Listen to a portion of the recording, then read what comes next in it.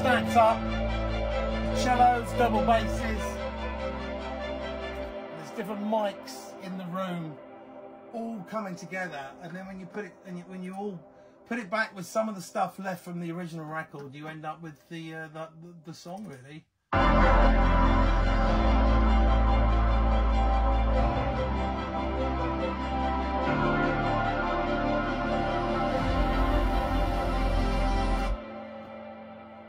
It's quite messy. It's quite difficult to control, and uh, but that's just a little a little thing of trying to explain how we had to recreate various parts that I'd originally done. So um, we'll do a few more of these, and I hope you enjoyed it. Thanks.